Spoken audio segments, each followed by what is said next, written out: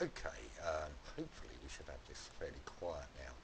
But I've noticed um, when I'm wandering about the world, um, as I get nearer to a block, it almost looks like I've got a light on my head.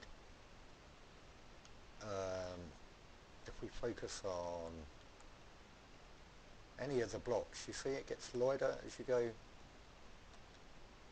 closer to it. And I've never seen that do that before. It's almost like I've got a light on my head, but um, let's just go to the character. As you can see, I'm just my handsome self.